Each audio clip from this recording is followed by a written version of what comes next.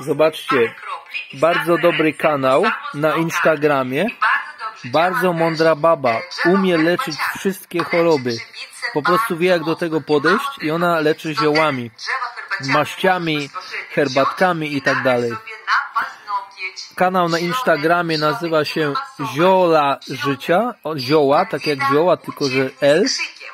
E, Polecam Wam bardzo Na nacisnąć na subskrypcję tej kobiety i słuchać i notować.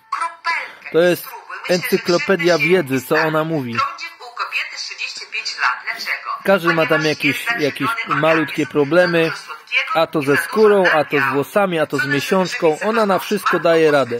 Na wszystko porady udziela. Także robię tej pani reklamę. Nie wiem jeszcze, czy ona ma na YouTubie, ma swój kanał. Dobrze by było, bo tu jak skończy transmisję, to tego filmu już nie będzie. Także to jest bez sensu trochę, że... Ale pewnie z YouTube by ją wywalili, bo, bo tam tylko e, można tabletki reklamować. Wiecie, tych far, e, koncernów farmaceutycznych, a ona tabletek nie reklamuje. Bo wiecie jak to jest. Pacjent wyleczony, klient stracony. Dla koncernów. A ona chce wyleczyć.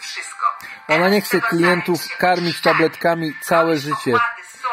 I to dlatego u takich ludzi powinniśmy się leczyć. Nie u lekarzy, bo lekarze to wam najpierw wam wyrwą na przykład, co wam mogą wyrwać? Tarczycę, prawda? A później każą do śmierci brać tabletki. Albo zrobią wam tam operację serca i do śmierci wam każą dać brać tabletki.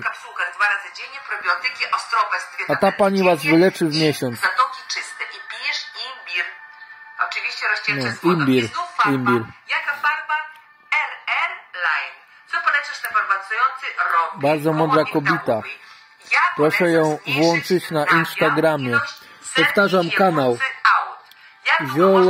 ostro? życia.